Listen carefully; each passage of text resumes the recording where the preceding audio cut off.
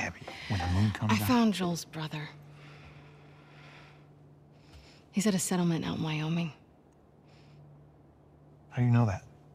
Some fireflies who served with him got picked up at the wall. I thought he quit like a decade ago. Yeah. So, have these guys heard from him since? It's a lead.